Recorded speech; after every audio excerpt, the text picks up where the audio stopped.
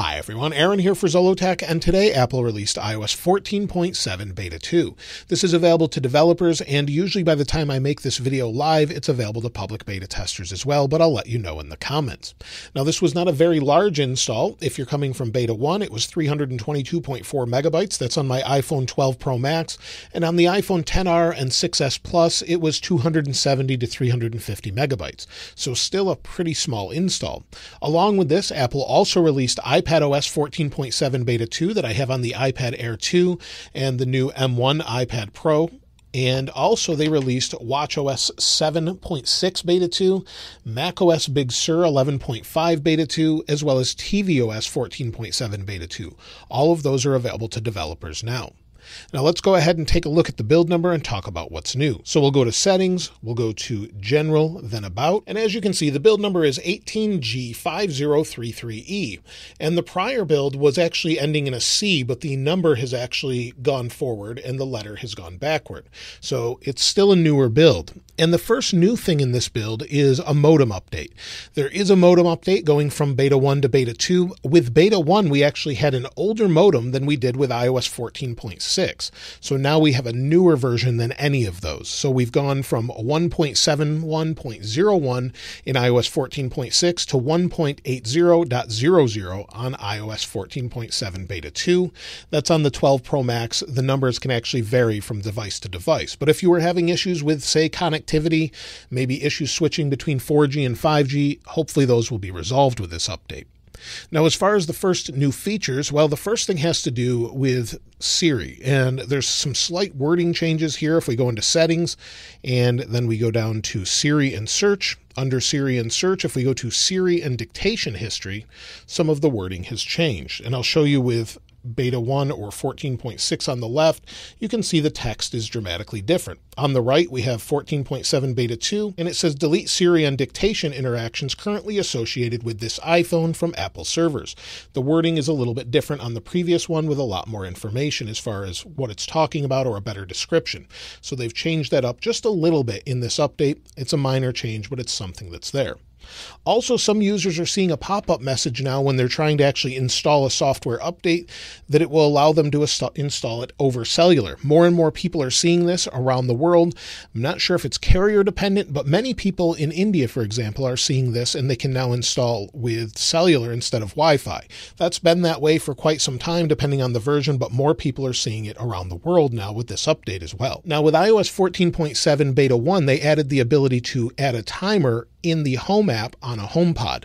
Now, you do have to have the HomePod set up with the betas as well. But if you go into Home, for example, and press and hold on it and scroll down, you'll see the option to set a timer here. And so you have the option to set a timer, but with beta 1, some of the text was incorrect. Now that's been corrected.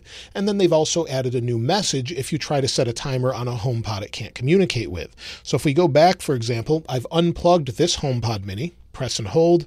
And if we scroll down a little bit, you'll see it says alarms unavailable and timers unavailable. It says timers can be viewed and managed only when this HomePod is on the same network as this iPhone. So this message is new with the update to be able to set timers on the HomePod. So just a couple small text changes there. There's some small changes as well in exposure notifications. So you'll see there's a gap here too. I keep seeing that, so it's a little bug already in beta 2. But if we scroll down to exposure notifications and maybe you have this turned on in your country or state, depending on where you live. Then you install an app for the state or country you live in, depending on if it's available or not. So we'll just pick one here. And if it can find one, and you install that app, and then you go and try and share a diagnosis with someone and let them know maybe you've been exposed, you'll now get a pop up letting you know that exposure notifications is not turned on it generally will give you a pop up saying this isn't turned on. You may need to turn this on in order for this to work properly. So it's something that they've updated. It's just some text in there that they've changed. Now, as far as the notes, Apple has said there's nothing new in this build. So there are small changes I've shown you already. Obviously, this is a new build.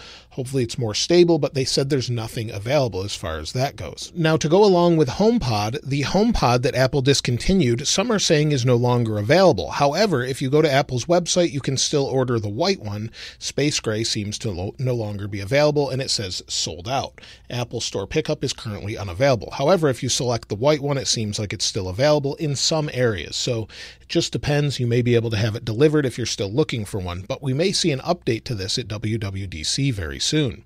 Now, as far as resolved issues in the notes, Apple has not said anything as far as resolved issues. However, those that were having issues with green tint have reported no issues so far with iOS 14.7 to me.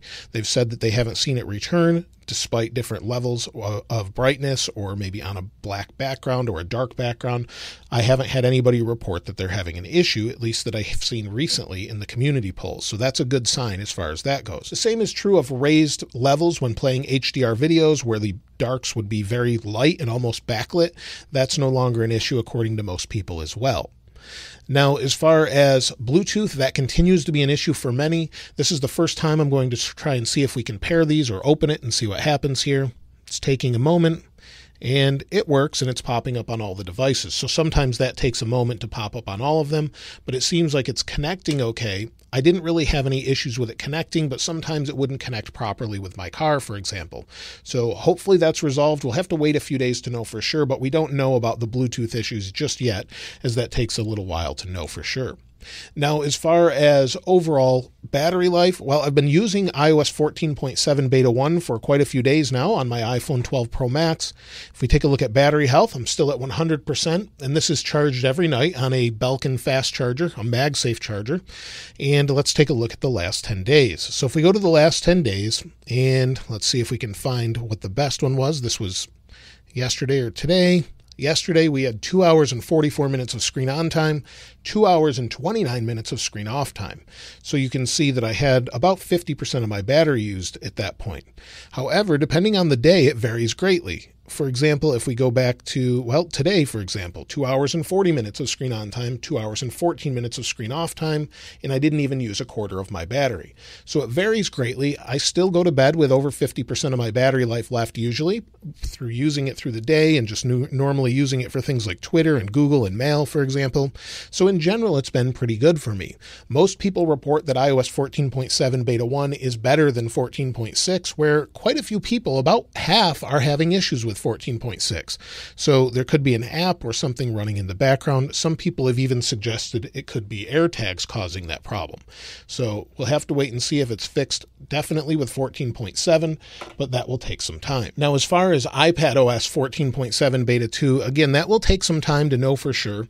I've been using 14.6 on my new M1 iPad Pro, and it's been okay for the most part. I've had a weird rotation issue, and I just installed the beta on this one, so it will take a few days to know if battery is resolved. On my previous iPad, battery was not good. On this one, it's fine. I have no issues with battery on the new iPad Pro. So it will take a few days to know. I wanted to share that with you as it's been pretty good. I've been getting eight to 10 hours of screen on time on the new iPad Pro with iOS since I completely wiped it and started over or set this up and started over. I did not restore from a backup. So hopefully that resolves the issue.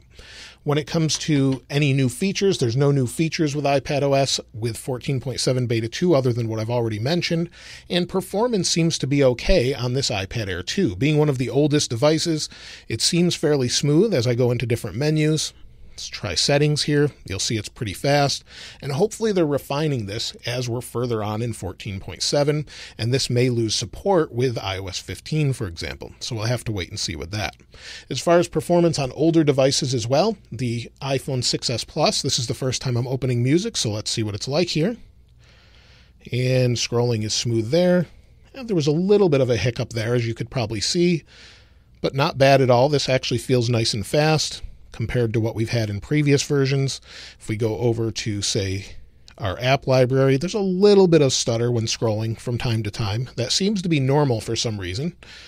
And it's working okay. So I would say there's no decrease in performance as far as that goes. Now, as far as benchmarks, I did run it, run them on all of these devices. So let's go ahead and take a look at that. Go over to Geekbench here, and it can vary greatly. I ran it a couple times depending on the device, but on the iPhone 12 Pro Max, I scored 1,599 for single core, 4,094 for multi core. If we go to the history, you can see I ran it twice on June 2nd. I scored a little bit higher on single core on the first run and higher on multi core on the second run, but if you look below that, that was the previous build.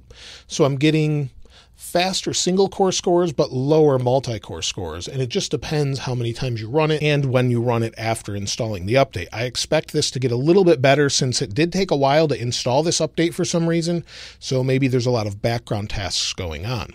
Now, let me show you all of the different devices. From left to right, I have the iPad Air 2, followed by the iPhone 6S Plus, then the iPhone XR, and then the iPhone 12 Pro Max.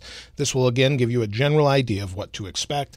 I did run it on the new M1 iPad Pro, and you can see the scores here. They're very high 17 or 1,704 for single core, 7,321 for multi core. So I've, I haven't compared that to a previous version yet, but it's doing quite well. So Overall, this should be generally what you get going from the oldest supported devices to the newest. And that leads me to should you install iOS 14.7 Beta 2? Well, if you're already on Beta 1, then absolutely install it and be sure to report feedback if you're having an issue.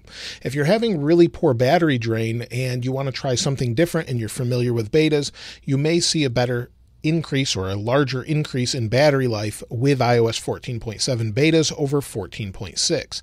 However, in a few days, we're going to see iOS 15 beta 1. So you may want to hold off for that, although I never recommend installing early betas as they tend to be very buggy. So if you care much about battery life, for example, you may want to try 14.7 beta 2 as long as you're familiar with beta testing and you have the ability to roll back to say 14.6 and have backups in case you lose any of your data. So just be careful if you're doing that and be aware of the risks. Otherwise, I would recommend trying it out.